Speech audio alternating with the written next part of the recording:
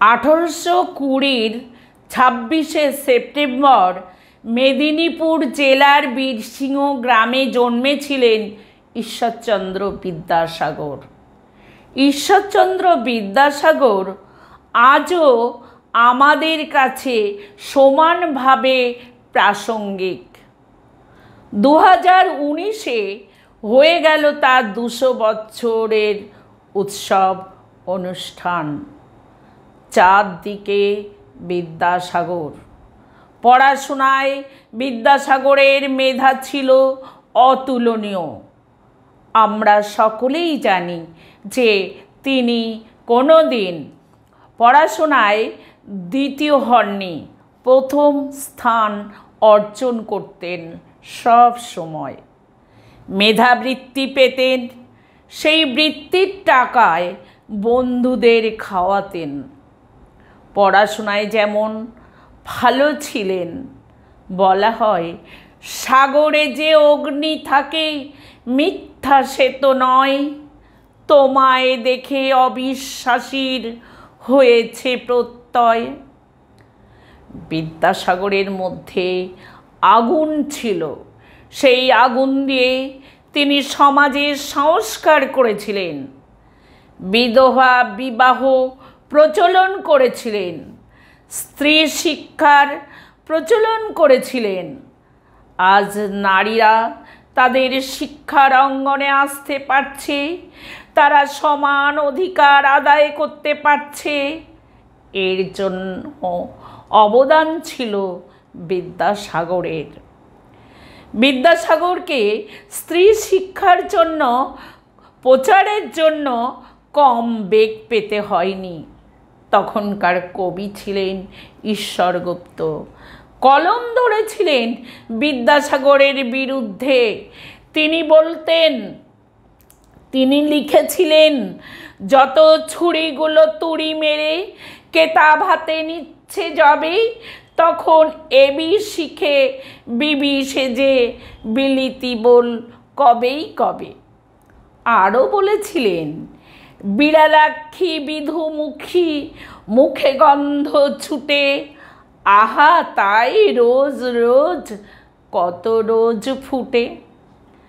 দেখা যাচ্ছে আজকের যে স্ত্রী শিক্ষা, যে নারী শিক্ষা, এর জন্য বিদ্যাসাগর অনেক বাধা বিপত্তির মধ্য দিয়ে এগিয়ে গিয়েছিলেন।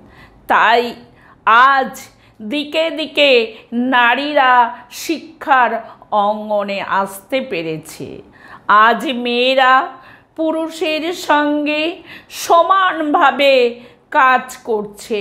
অফিসে, আদালতে, শিক্ষালয়ে সর্বত্র তারা ঘর, সংসার সমানভাবে সামলে যাচ্ছে। অথচ এই মেয়েদেরই একদিন শিক্ষার আঙিনায় না এনে অন্ধকারের অতলে তলিয়ে দেওয়া হচ্ছিল। তাই বিদ্যাসাগর এটিকে সমূলে উৎপাটন করে মেয়েদের বিদ্যালয়ও তিনি স্থাপন করেছিলেন। তিনি তার জন্মস্থানে ভগবতী বালিকা বিদ্যালয় স্থাপন করেছিলেন। এছাড়া অনেকগুলি বিদ্যালয় স্থাপনের মূলে ছিলেন বিদ্যাসাগর। বিদ্যাসাগর শুধু বিদ্যার প্রতি অনুরক্ত ছিলেন যে তাই নয়, তিনি তার বর্ণ পরিচয় বইতে বলেছিলেন, সদা সত্য কথা বলিবে। কিন্তু তিনি বলেছিলেন, তার জীবনী থেকে একটি মহৎ মিথ্যে গল্প পাওয়া যায়। তিনি যে দয়ার সাগর ছিলেন, এ বিষয়ে আমরা সকলেই জানি। কিন্তু কর্মোপলক্ষে তিনি থাকতেন কলকাতায়। একবার তিনি গ্রামের বাড়িতে গেছেন। শুনেছেন, ওই গ্রামের তারিণীচরণ মহাশয় মারা গেছেন। এবং তার বিধবা স্ত্রী ছেলেদের, মেয়েদের নিয়ে খুব দুঃখ কষ্টে দিন কাটাচ্ছেন। শুনে তিনি বললেন, আমি যাব তারিণীদার বাড়িতে। এমন সময়ে গেলেন তিনি তারিণীদার বাড়িতে। গিয়ে যেন তিনি কিছুই জানেন না, তিনি ডাকছেন তারিণীদা তারিণীদা সঙ্গে সঙ্গে বেরিয়ে এসছেন তার বিধবা স্ত্রী। তিনি বললেন, কই, এমন কথা তো আগে শুনিনি। তাহলে আমি এই তারিণীদার কাছ থেকে একশো টাকা ধার নিয়েছিলাম, এই নিন একশো টাকা। তার বিধবা স্ত্রী বলছেন, ধার নিয়েছিলেন?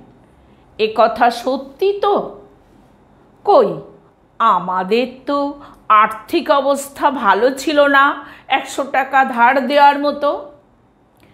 তিনি এই মহৎ মিথ্যেটা বলেছিলেন বলে তার বিধবা স্ত্রী সেই একশো টাকা গ্রহণ করেছিলেন।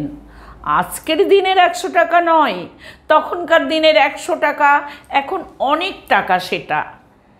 সেই তার বিধবা স্ত্রী কোনো অনুকম্পা, কোনো দয়া গ্রহণ করতেন না। এই মিথ্যেটা বলেছিলেন বলে সেই টাকা তিনি গ্রহণ করেছিলেন। কিছুদিন তিনি ভালোভাবে ছেলে মেয়েদের নিয়ে সংসার চালাতে পেরেছিলেন। এমন মানুষ ছিলেন, নির্দ্বিধায় মানুষকে উপকার করতেন। আমরা কে না জানি। তিনি কারমাটারে গম জমিয়ে রাখতেন?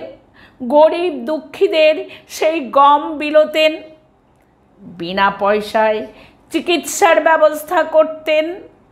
কালনার হাসপাতালে সেই কুষ্ঠরোগী ভর্তি এবং তার দেখাশোনা এবং তার ভালো সুস্থ করে তোলার জন্য বিদ্যাসাগরের প্রচেষ্টা ছিল অতুলনীয়।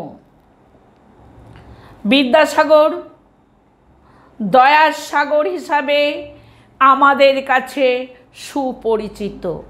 আমরা জানি তিনি সত্যিই দয়ার সাগর। তার মাকে যখন শীতের চাদর কিনে দেয়া হয়েছিল, তার মা পড়েননি, ভগবতী দেবী পড়েননি। জানতে চাইলে বিদ্যাসাগরকে তিনি জানিয়েছিলেন, আমার গ্রামের এই গ্রামবাসীরা, আমার প্রিয় গ্রামবাসীরা, তারা শীতে কষ্ট পাচ্ছে। আমি কি করে নতুন চাদর গায়ে দিই?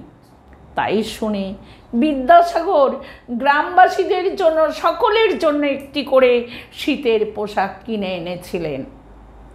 তার দয়ার কথা বলে শেষ হবে না। তিনি যেমন দয়ালু ছিলেন, তাই তিনি দয়ার সাগর তেমনি তার বিদ্যা ছিল, তাই তিনি বিদ্যাসাগর। কিন্তু এহেন মানুষটির মন ছিল বজ্রের থেকে কঠিন, আবার ফুলের চেয়েও নরম। তাই তিনি এত সমাজের সংস্কার করতে পেরেছিলেন। বিধবা বিবাহ প্রচলন করেছিলেন তার নিজের ছেলেরকে সঙ্গে এক বিধবার বিয়ে দিয়ে? এই রকম শুধু কথাই বলে নয়, কাজে দেখিয়ে দৃষ্টান্ত স্থাপন করা আমাদের দেশে সত্যি বিরল। তা বিদ্যাসাগর, তিনি আজকের দিনে জন্মেছিলেন আমাদের বাঙালি সমাজকে অন্তত এক হাজার বছর আগে এগিয়ে দেওয়ার জন্য।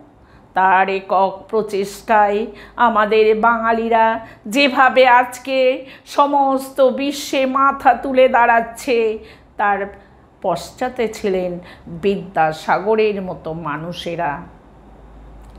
তারা কোনো দিন হাঁটতে শেখেননি, তারা মানুষকে জিততে শিখেছেন।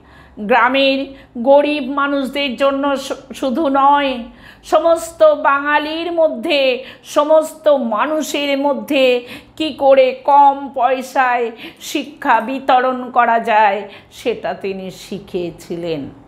তাই তিনি বর্ণ পরিচয় বইটি তিনি বের করেছিলেন এবং অল্প পয়সায় মানুষের জন্য বরাদ্দ করেছিলেন। তার বর্ণ পরিচয়ে এক একটি উক্তি যেন শক্তির মতো। যেমন, পরিশ্রম কখনো বৃথা যায় না। সত্যি, এই একটি কথা দিয়ে মানুষকে তার জীবনে সাফল্যের চূড়ায় তোলা যায়। বিদ্যাসাগর ছিলেন বাঙালি গদ্যেরও জনক। তিনি কয়েকটা বইও লিখেছিলেন। যাই হোক বিদ্যাসাগর আমাদের কাছে প্রণম্য। তার ওই মহিরুহ, ওই মানুষের যে এত গুণ এবং এত কর্মনিষ্ঠা ছিল, তার প্রতি আজকে জানাই আমার অন্তরের প্রণতি।